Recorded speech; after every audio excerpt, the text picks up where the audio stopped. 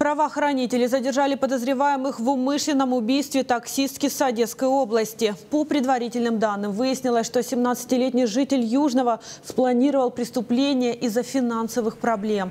Сделал он это не сам, ему помог 18-летний товарищ. Они сели в автомобиль 55-летней таксистки, поехали в Любополь, где и жестоко расправились с женщиной. После 11 ножевых ударов они забрали из кошелька полторы тысячи гривен. Чтобы скрыть следы преступления, юноши оставили тело таксистки на обочине и на ее автомобиле поехали на окраину Одессы. Уже там закопали орудие преступления и сожгли автомобиль. Мы берем, оттягиваем тело в тот переулок.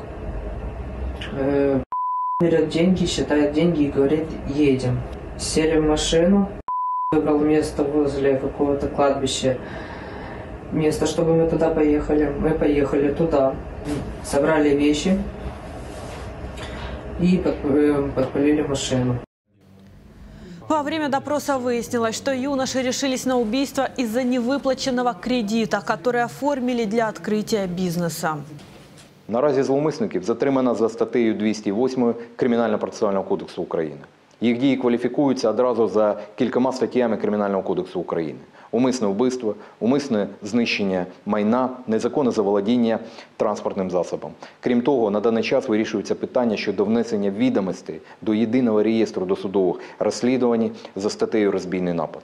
В рамках досудового розслідування призначено низку судових експертиз. Тривають слідчі дії.